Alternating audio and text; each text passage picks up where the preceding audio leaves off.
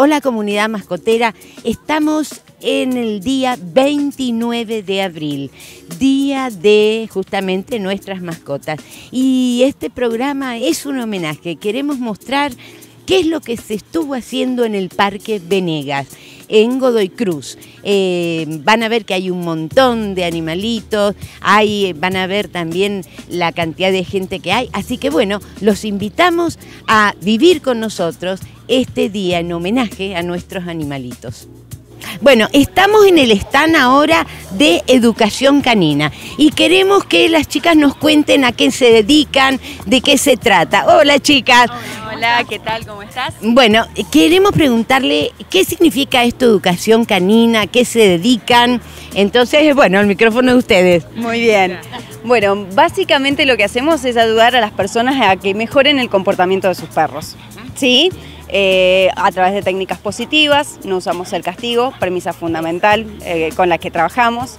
Eh, generalmente hacemos este, adiestramiento cognitivo-emocional donde el perro se involucra mucho y lo tomamos como parte del grupo social o parte de nuestra familia. Este, y bueno, eso nos dedicamos a la rehabilitación de malas conductas, a ayudar a una persona de cómo se limita un perro eh, sin tener que recurrir a, técnicas nocivas para el animal. Básicamente un poco también de obediencia. Desestructuramos la mitología de, de que el adiestramiento, la obediencia básica es malo para el perro hay mucha gente que opina por ahí que, para qué le vamos a enseñar X cosa al perro si el perro sufre. No, no sufre. En realidad lo que hacemos es trabajar la mente del perro, ¿sí? De una manera tanto consciente como positiva.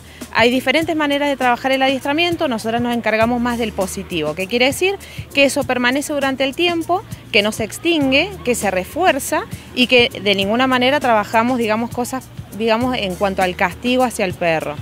Bueno, chicas, muchísimas gracias y me voy a llevar una tarjetita. bueno, estamos con Sonia del grupo de Rueditas por la Vida. Ellos realmente luchan por la vida y queremos contarle un poquitito la historia de Wally, que es un perrito divino, amoroso, chiquitungui, eh, que está en adopción. El único detalle, el único es que usa carrito, pero que realmente no es impedimento para tener un perrito como Wally en la casa. Sonia, contanos por favor. Hola, ¿cómo están? Bueno, Wally es uno de los perritos que tenemos en, el grupo que está en adopción. Tenemos otros perritos en adopción. Eh, ellos se manejan perfectamente con carrito o sin carrito. Eh, llevan una vida súper normal, no tienen nada especial, digamos. Eh, juegan, corren, comen normalmente y bueno, están castrados, vacunados y, y en adopción. ¿Y por qué la gente tiene miedo de adoptar perritos así discapacitados? La verdad que es algo que yo me pregunto diariamente, porque es un perro normal igual que cualquier otro perro. O sea, tal vez haya que dedicarle un poquito más de tiempo en el hecho de que como ellos no utilizan su tren posterior, eh, hay que hacerle algún tipo de ejercicios para mantener tonificados los músculos, las, este, articulaciones bien y todo ese tipo de cosas. Pero nada más que eso, que eso es te sentás a mirar televisión y moves un poquito la mano del perro la patita y ya está.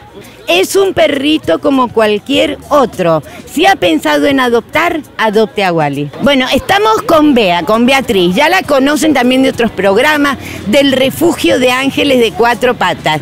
Y bueno, quiero que nos cuente un poquito cuántos perritos tienen para adoptar, si qué cosas necesitan, como siempre, siempre cosas se necesitan. Hola, Bea. Hola, ¿cómo andás? Bueno, contanos, contanos. Bueno, eh, actualmente tenemos más de 100 perritos en el refugio, de los cuales son muchos perros viejos, eh, enfermos, desnutridos. Eh, en este momento, bueno, ahora ya llega el frío, con el tema de las lluvias se nos han mojado bastante, así que necesitamos mantitas, chapas, nylon, todo lo que a uno no le sirve en la casa nos de mucha utilidad. chalequitos, ropa que nos sirva, todo nos viene muy bien. Bueno. Eh, vea, ¿y mm, cómo hacen? ¿Te escriben a la página de, de, Ángeles de Cuatro Patas? Claro, se pueden comunicar por eh, vía Facebook a nombre de Beatriz Méndez o Refugio Ángeles de Cuatro Patas. Bueno. gracias, Bea. Gracias, gracias, gracias. Este es el doc de eh, Godoy Cruz, de la MUNI de Godoy Cruz. Bueno, ¿cómo vas evaluando hasta ahora el evento? El evento es un éxito, en realidad eso se mide, yo lo mido como éxito la cantidad de animales que se están dando en adopción, llevamos cerca de 10. Y bueno, eso es una parte de la cuestión, porque esos perros no nacieron del Espíritu Santo, nacieron de perras que no estaban esterilizadas y que bueno, después de 10 años de esterilización, yo todavía me sorprendo la cantidad de, de animalitos, de cachorros abandonados o no abandonados que se siguen reproduciendo, ¿no? Y en función de eso hay que ser consciente de que cada vez va a ser, no sé si peor, pero va a ser más difícil porque ya hay más lugares los que han adoptado animales, dar animales en adopción. Entonces la concientización sobre la esterilización es fundamental. Yo creo que este día, justamente dedicado al animal, es más un día para concientizar que como para festejar, porque muchos dicen, ¿qué vamos a festejar? Si, la verdad que con tanto abandono y todo no hay nada que festejar. Pero yo creo que hay que concientizar en estos días. ¿Qué te parece? Totalmente, o sea, en real- en realidad el Día del Animal para nosotros y los que estamos en el tema de los animales son todos los días, o sea, no hay un solo día que uno no deje de pensar en el bienestar de los animales. La concientización, como te dije recién, es fundamental, o sea, hay una serie de cosas que en cierta forma yo veo hasta como un boomerang, o sea, en realidad yo veo el Facebook, veo las redes sociales y todo lo demás y hay mucha gente que a lo mejor dice, no, no la voy a llevar si total es fácil dar los animales en adopción. Yo le digo que no es fácil, que cada día cuesta más dar animales en adopción, sobre todo alguien que lo tenga responsablemente. Exactamente. Esa es la idea, la tenencia responsable. Bueno, gracias, gracias. Y bueno, estamos con uno de los representantes de perritos mendocinos. Ya lo habrán visto también porque siempre colabora con los reportajes. Así que bueno, contanos, eh, como el público se renueva, contanos las actividades que están haciendo ahora, así brevemente. Y ahora, esta mañana estuvimos en el parque, que acompañamos al ministro de Medio Ambiente, a Mingorance, que nos invitó a todos los proteccionistas y se presentó, que es importante decirlo, eh, se va a llevar la ley de pirotecnia cero a la provincia y esta semana nos van a avisar. Para nosotros los proteccionistas o cualquier ser humano que sabe que lo que sufre un animal con la pirotecnia, hoy es un feliz día del animal.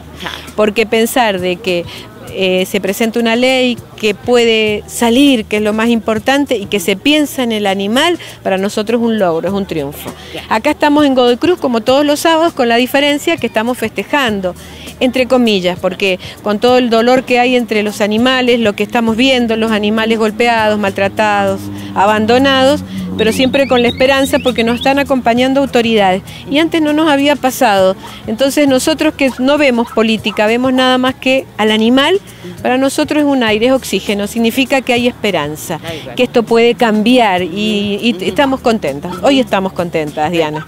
Bueno, gracias, gracias y por siempre colaborar y bueno, Dios quiera que esto de la ley se lleve a cabo y se la salga. ley, por favor. Ay, no a oh, la pirotecnia. Exactamente, no a la pirotecnia. Bueno, estamos con el secretario de gobierno de la MUNI de Godoy Cruz y queremos consultarle acerca de su evaluación con respecto a este evento, de qué opina acerca de toda la movilización de Godoy Cruz con respecto a nuestras mascotas, que realmente es loable. Bueno, encantada y gracias por participar. Cuéntenos, ¿qué le parece? No, la verdad que, bueno, eh, todos los sábados, nosotros este, semanalmente, a veces cada 15 días, con todas las protectoras del departamento y también de, de departamentos vecinos, realizamos esta tarea de adopción, adoptar un animal, porque para nosotros es importante el trabajo que hacen todas las protectoras, este, por eso la MUNI este, todo el tiempo está colaborando y apoyando este tipo de actividades. Eh, bueno, hoy estamos en un día muy particular, un día muy especial, el Día Internacional del Animal, este, y no podía ser menos de que lo festejáramos este, hoy, eh, por lo que me decían hasta recién, no, eh, teníamos una, eh, se habían adoptado no menos de 15 animalitos, así que eso es una alegría para todos los que nos encantan los, los animales, los perros, los gatos, que es sobre todo lo que este, se recepciona en este lugar.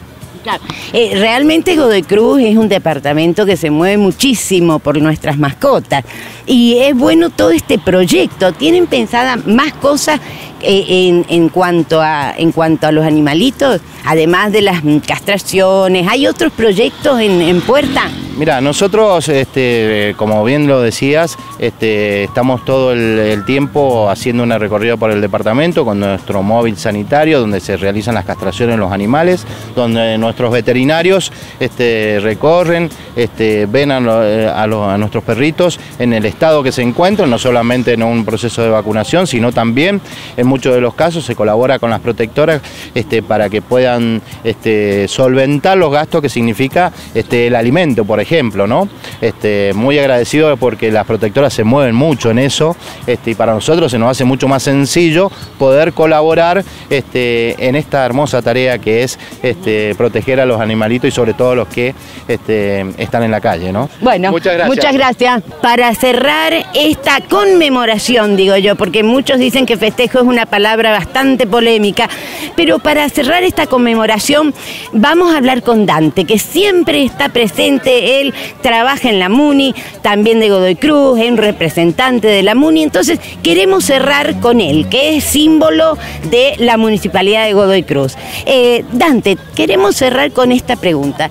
¿Qué caracteriza a tu municipalidad con respecto a la tenencia responsable, con respecto al cuidado de nuestras mascotas? ¿Cuál es la característica fundamental?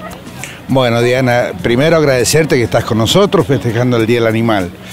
Eh, ¿Qué es lo que caracteriza a Goy Cruz? En Goy Cruz, con este programa que se llama Adopta a un Amigo, no se regalan perros, se dan perros en adopción responsable.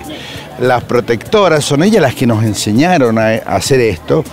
eh, controlan y hacen un contrato primero con el adoptante, con las personas que adoptan el can y hacen un seguimiento del can eh, con respecto a si coloca las vacunas, si tienen que esterilizarlo, y me parece correcto.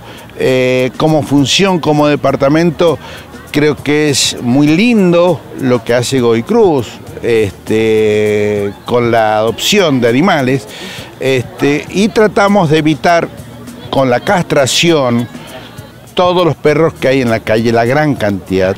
¿Qué elementos o qué ítems son imprescindibles en una tenencia responsable de la que tanto se habla? ¿Qué tiene que hacer el dueño para considerarse que es un tenedor, digamos, responsable? lo primero y lo único que tiene que hacer es considerar al animalito como un ser vivo, no como un muñeco que se tiene en la casa. Por eso el ser vivo hay que cuidarlo, hay que protegerlo, hay que darle cariño, hay que vacunarlo como todo ser humano. Es un ser vivo. Por eso, Diana, nosotros este programa para el Día del Niño lo suspendimos porque considerábamos que muchos papás iban a traer un regalito y buscar un regalito para su hijo.